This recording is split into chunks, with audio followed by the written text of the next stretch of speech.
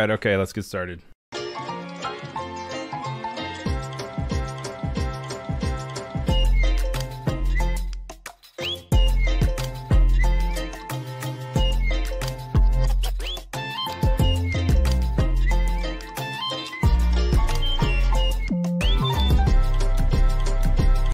Hey guys, what's going on? Welcome back to it. Um, my name's Ryan Selvy, and I am your host for today. We have three different episodes of Offset.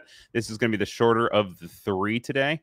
Hey to everyone in the chat, thank you for being here. If you guys are over on YouTube, make sure you hop on over to Behance. Uh, Behance is where all the moderators will be moderating the chat and facilitating conversation, and I'll also be pulling questions and comments from that chat over there for our guest Tommy. I'm really excited to bring Tommy on today. He's a good friend of mine. He's a fantastic uh, cartoonist, illustrator, musician, creative, generalist, um, and I have lots to talk to him about. And we're going to try to squeeze it in to the short 30 minutes that we've got. And I'm very excited to show you guys kind of what he's got going on.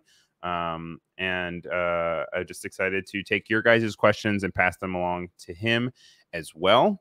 Today is Wednesday, October 12th. And so we're doing offset week all week this week. Tomorrow we have three more episodes. Like I said, today we have three episodes.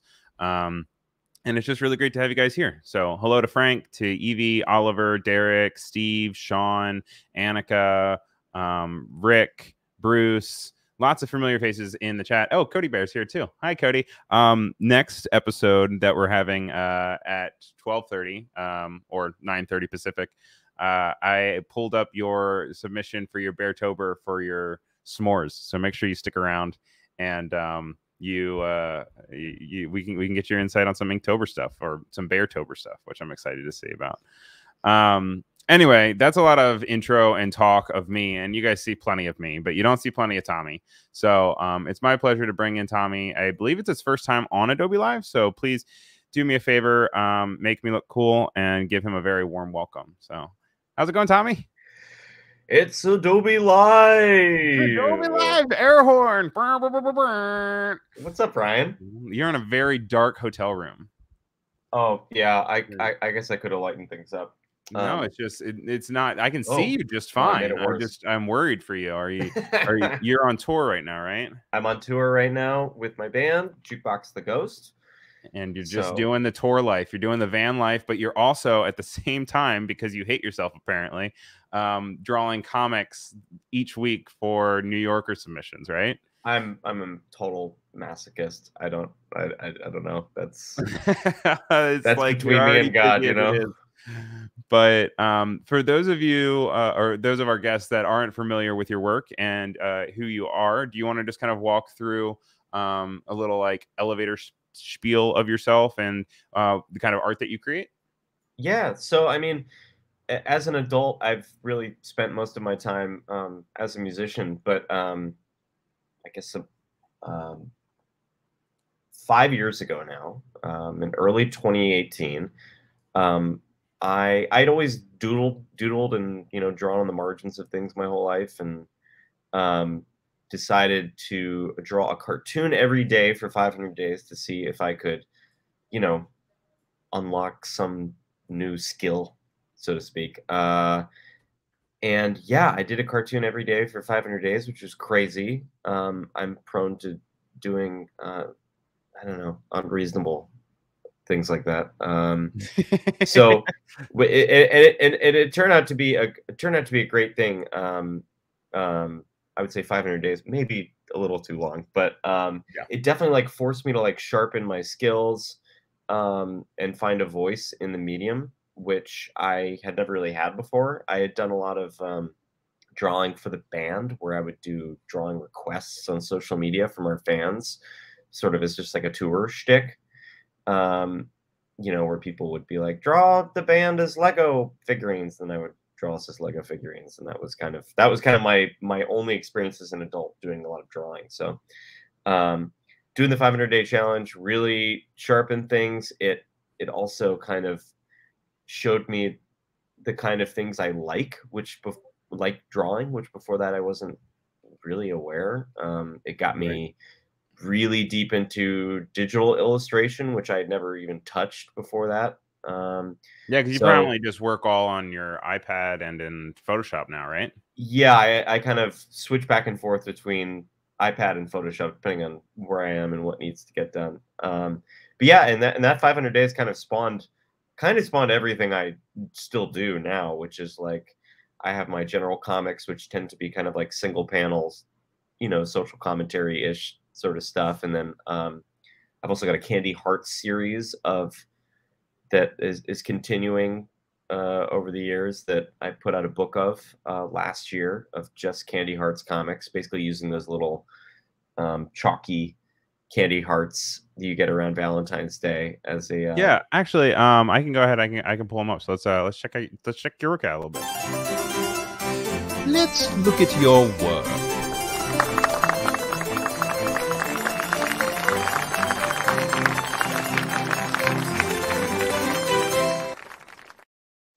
Ryan, you've gone above and beyond. oh, thank you so much. I'll do it just for you. Um, I went ahead. I pulled up your Instagram, which is uh, I think actually how I found you originally. Um, I know we became friends through like Discord webcomics, but um, I think I originally found you through your your Instagram. Now you have two separate Instagrams now. You have your Tommy Siegel, which is Instagram.com slash Tommy Siegel, and this is where you have a lot of your um, one-off comics, and then you also, like you were saying, you have your um, your Candy Hearts. Uh, you have a separate one for them now, right? As well. You I wanna- do, I do. Uh, currently, you know, because I was doing them all on my main account for so long, it's I'm I'm trying to let people know, you know, fairly often that there's a separate account. But um, yeah, there's Yeah, a dedicated account like- just for the hearts. I don't believe in marriage, and the other person says, and yet you believe in Bitcoin. They've just got FOMO. They've just got FOMO. Uh, I'm so glad they love my cats and taking allergy shots and waiting patiently for their death. Um, so obviously these all come from um, I don't know some some spot in your brain that's uh, personal, but I also know that you don't currently live with a cat. So this obviously doesn't come from your entire true life. But how do you um, manifest these ideas, and where do you get inspiration and ideas for your comics? Um, I just always have a I always have a running list going of ideas, um, both on my phone and in my journal, and I'm just always kind of chipping away at it. And I don't know, I'll go a month without having any idea at all, and then I'll just be on a walk at some point and think of like 20, and then that'll that'll last me for a while. So, um, it's amazing. I mean, I'm sure you're the same way. It's like it's amazing how inspiration comes in these spurts that you really can't predict. And a lot of times I'm like, you know, doing a lot of manual labor to catch up to a flurry of ideas I had in five minutes six months Yeah. ago. Do you know what I mean? Yeah, hundred percent. Like it's just like Yeah. you have to seize the moment of the idea of like this saturated creativity and inspiration and like motivation, and then go from there. Yeah, and Uh, it's like I don't even have to. Uh, uh, uh, luckily, with comics, I don't feel the need to like execute the idea right when you have it. Right, you can just like write it down, and then like a year later, you can be like, "Oh yeah, good job there." um, and then I know that you just mentioned just now that you kind of have your ideas uh, that you you throw down in your um in your like notes panel or whatever. Uh, I was wondering if we could take a, a kind of deep dive into kind of behind the curtain, and if you could just um, I guess I, I know you- I see you have your screen here shared, um, and maybe we can check out some of the sketches that you have for ideas that um, you're working on uh, for your comics. Ooh, let's see your sketchbook? Ryan, these animations are fire. Thank you. They These help. are- They help keep the show going. I'll say These that. are absolute fire. oh well, I appreciate it. Wow. Okay. Yeah. So like, just you know, had been having some fun with that sort of classic New Yorker single panel style. Maybe a little Far Side, more Far Side than New Yorker. This one in particular. Um, but yeah, I've been trying in a lot of different brushes lately, which has been, you know, which is new for me. I was kind of, I'm, I'm not um super experimental with that. So Wait, can you can you read the, the the caption for it just in case it's too small on some people's? Oh, okay. Yeah, yeah, absolutely. So it's you've got this this guy this uh I'll zoom in a little bit on this on this anglerfish here. Oh, You've got- ew, and he has a face. Ew. so it's got an okay. anglerfish and it's dangling a a human face, Mm-hmm, and the caption is the lady saying to the other lady, "No, you're right. He's got a cute face, but I'm telling you, something seems off." you know, very Far Side. It's very funny. Very Farside's back, right?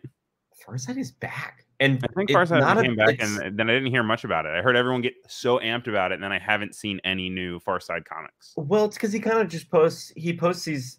uh, They're so good, but he's really just posting like one every month or so. Yeah, Um, they're not coming out with a lot of regularity, but they're masterpieces. They're like beautiful paintings now. yeah.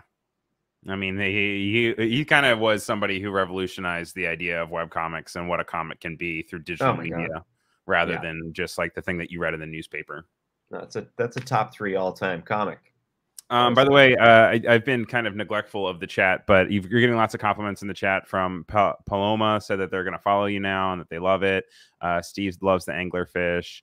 Uma Corn uh, is laughing at something feels off, and Bruce is agreeing with you that Far Side um, vibes are are here with this one. Oh, great, So, great.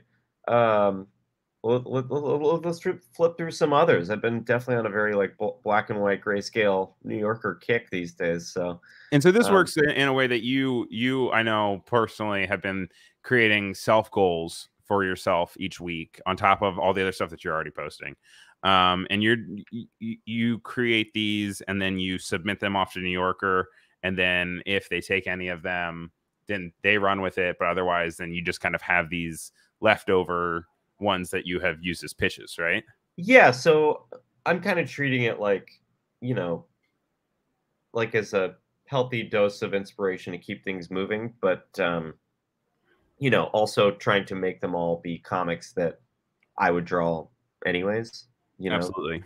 Um, so let's see. Like here's here's one I posted from my account, but I had submitted to New Yorker. This is uh, I love this one. This is one of my favorite ones. This is very dumb. Um, but you want to read kind of what it says, just uh, in case it's too tiny. um yeah. So it's uh you got your hipster calbarista here, um, with the please tip tip jar and the please do not tip apron, referring to the cow. Now, was did this come from uh, driving through the country uh, and seeing cows on the side of the road, or did this come from going into a coffee shop and seeing the tip jar? This came from going into a coffee shop and seeing a cow Yeah, as the that's as, rude. as That's very rude. I'm sure the barista was did not look like a cow. No, no, the barista was a cow. a- Oh, okay, all right. So this is just this is this is this is actually I didn't life. even yeah to be honest this is just like I sit and sat in a coffee shop and I took a picture and then I traced it so this is Yeah. this is what um what I was looking at Uh, Mervin wants to know if you have any suggestions on how to start uh, with drawing as a beginner. ooh um well if you're a total beginner I mean wow that's uh, that's it's funny so like like like I was saying earlier like I you know I I truly was a hundred percent beginner noob um you know four years ago Which is wild Um, to me. Like, and you made so much stride in such a short period of time. I mean that doing that daily challenge and having to actually put it out publicly, like it it definitely like forced me to figure it out quick. Yeah. Um no. so yeah, I mean I you know, I, I wouldn't do 500 days, but you know, if you want to challenge yourself to do something, you know, every weekday for like um for like a month or something, just to see what comes out and what you are inspired by and what mediums you like, like can't hurt, you know. So, I, it's a I would think that consistency and just getting out there and drawing and giving yourself to draw. You don't necessarily have to give yourself like a a 500 day goal post because that's a little excessive. But you you even started as a, a 365 that turned into 500. absolutely. Um, so I think that if you give yourself a goal, you don't. 365 is even pretty crazy. Um, but even if you just give yourself like every week you want to draw something, and then you go from there. I think giving yourself goals that you can then meet is gonna. You're just gonna no matter. You're gonna improve no matter what is the thing. yeah, Um, right. Now Bruce wants to know: Do you draw straight to the iPad or do you sketch and draw traditionally? Um, I draw. I I so for the first like year of the the challenge pretty much, I was drawing by paper on paper and then scanning it and then manipulating it in Photoshop. And now I mostly draw on an iPad and then manipulate and do extra stuff in Photoshop. Um, Now, so I'm do you have a cover? now. do you have a cover on your iPad or anything? I know they have ones that like make it feel like paper or whatever. Yeah, I've got Um, one of those. Um, but they, they're getting even better. So like, yeah, uh, I'm I need to get a new one. Yeah. Do you do you know um the one that you use by any chance? The one I use is called Paperlike, but Paperlike, yeah. Okay. yeah, I, I like, uh, but I got it. You know, it was before they had it on like mass market, so it was like a Kickstarter. Oh, okay. So you're Um, you're you're making sure you get your hipster points. So I think they've, I but I think they've improved the recipe a lot since then. Yeah, the recipe. Yeah, the plastic recipe. um, I'm gonna go ahead. I, I'm gonna um pull up a old one of your um your comics, and then I wanted to see how you kind of feel about it now in Ooh. comparison to something that you have um in in I don't know in recent years, and we can see um how you feel about it. So let's see. I'm just gonna pull, pull a random one. I, I'm like back in like let's see 2019 now. Oh, there's a 365. You had these these crazy little guys. I know I'm not showing it on screen, but um this is a good transition. So let's let's let's let's transition this and then we can talk about that other product that you've got going on that you just recently launched. From this to that. So this is a guide to bird watching, which uh, you actually got into way more uh, during COVID. I know. Uh, and this one has little burb, big burb, long burb, bug burb, rat burb, and oh, a very bad word that I can't show on Adobe Live. um, so that's an older one, obviously. Uh, you also have this one where does it spark joy, and um, this one actually got picked up by AOC, if I remember. Yeah. Um, uh, how do you feel like your comics have changed since then? Um, well, it's funny. I I had figured out a lot of stuff by this point in January of 2019. It's like it's like a few months earlier where I was still scanning in a lot of stuff and like hadn't really figured out like there's a big difference between like January of what you're looking at and like Mhm. October 2018, like 3 months before that. Um so at that point, I mean, I've gotten I've gotten better for sure since then, but you know, it it, it definitely was like really different. Yeah, it's Um, just crazy to also see how intricate your backgrounds have become. Yeah, yeah, I'm I'm I'm happy with that for sure. Like I I I think my sense of perspective and laying things out has gotten a lot better. Um, I like that one. It's not very well drawn, but I like it's not very well drawn, but I like the gag. Yeah, I Yeah. I stand by that one. um so no it's just really interesting to kind of it it go across um and and become what it is now uh and then the reason i brought up the the bird watching was because you also have a calendar that is extremely accurate bird illustrations right I do, I do. and this is for 2023 right That is correct.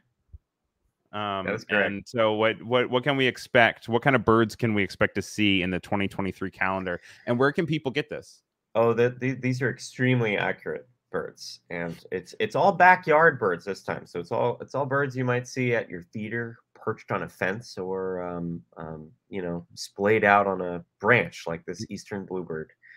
Um, the bird next door the bird the bird next door. Um, but I really do. It's funny because I, I am actually a birder. Um, I just have this running. It's been a running bit for a long time that um, I'm trying to draw birds as realistically as possible, but that they move quickly, and so I have to kind of make these guesses, you know, as to what like their legs look like. And um, you know, every once in a while, I bait somebody into a comment on the internet where they're like, where where they're like, birds don't have legs like that, and then I get into an argument, a fake argument with them. right But yeah, that's the bit, and uh, it's a it's a it's a very high quality calendar available available on TommySiegel.net. All right, so I'm just gonna go ahead. I'm gonna link in. Also, there. Um, I know we're kind of short on time. Like I said, we're just flying in and out of this interview as quick as possible.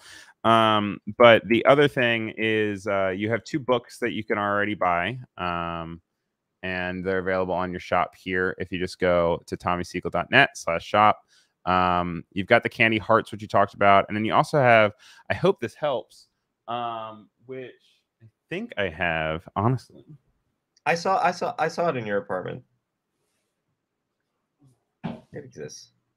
Um, which actually secretly also has some candy hearts on the back of it as well, which is a little secret. Um, sneaky. but uh, what what can you expect from? I hope this helps. I hope this helps. Is a kind of uh, a sort of a, a a commemorative document of the 500 days of comics. So it's kind of like a best of of the 500 days, and also essays about what that experience was like. So it's kind of all over the place. It's a it's a it's a big old mess. Um, that was uh, my first book I put out with Andrews McMeel in 2020, and then Candy Hearts came out six months later in 2021. And so, are you working on any other books now?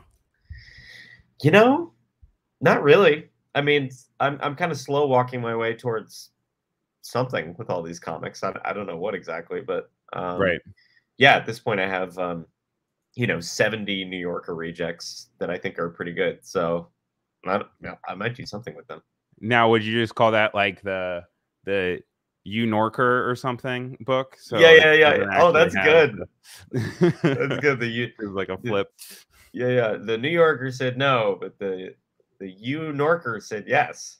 Yeah, because that's kind of also part of your um your identity and your persona online is like this very um uh misinformation yes ander um where like you have the the Kate Bush running up that hill and you're like Kate Bush was actually the brother of George Bush and where was she during the 2003 scandal um which I think is a is a, a funny air to have Well, oh I man, it's I- already twelve twenty four. We got to close out. But Whoa. um, is there anything else that you want to close with or, or say before we uh, we log off?